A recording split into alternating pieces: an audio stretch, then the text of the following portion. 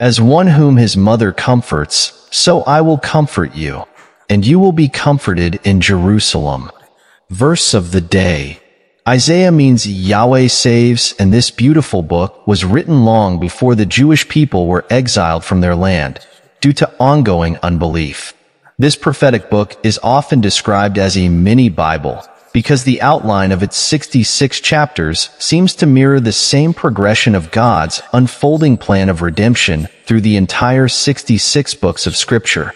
Isaiah gave many warnings to apostate Israel to repent of their spiritual rebellion and to turn back to the Lord their God. Isaiah not only prophesied of the coming Assyrian and Babylonian captivities, if they did not repent, but even named King Cyrus of Persia, who would be instrumental in restoring a remnant of Jews back to the land of Israel. Isaiah named Cyrus a century before Cyrus was even born.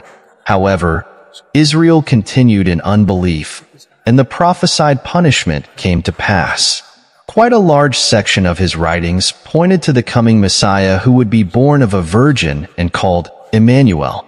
Some of the most poignant prophecies of Christ's first advent are recorded by Isaiah.